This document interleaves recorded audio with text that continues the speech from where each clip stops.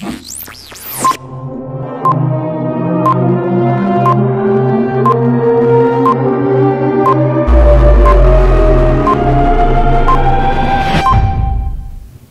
morning, Sweet Home. Today is Wednesday, November 26th, and it is day one. My name is Lauren Spence. And my name is Maya Dabney, and here are today's morning announcements. The football banquet is tonight at Classic 5 at 545.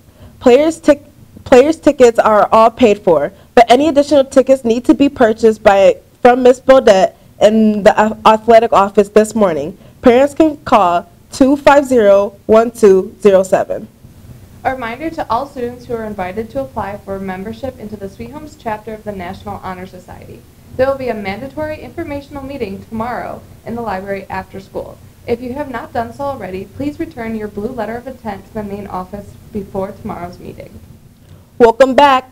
Soul is taking place in room 203 tomorrow, and you are invited. We have two visitors coming, and we can't wait to see you there.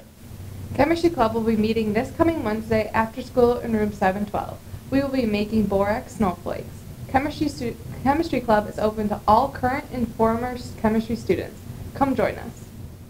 Attention girls lacrosse players, there is a time change for indoor practice this Wednesday, this Wednesday and next week, this, uh, December 5th.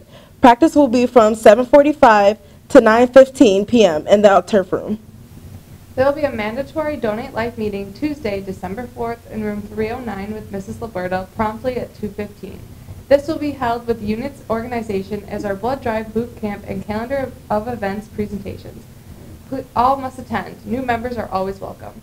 And that's all we have for days, today, sweet home. Have a marvelous Monday.